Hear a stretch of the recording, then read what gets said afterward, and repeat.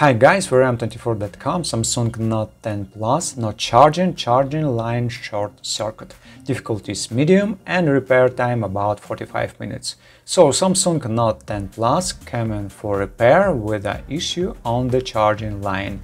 When connecting a charger, the power supply is shut off due to a short circuit on the charging line. However, the phone itself works and charges normally through wireless charging.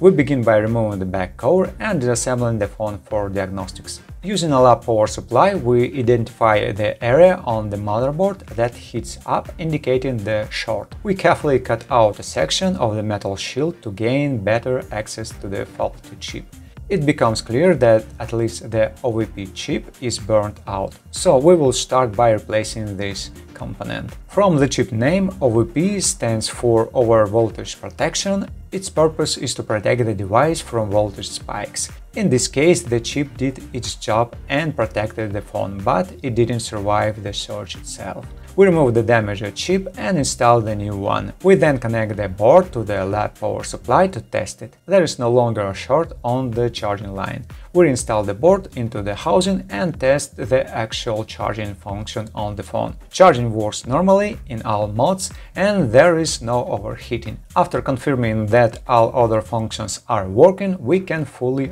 reassemble the phone.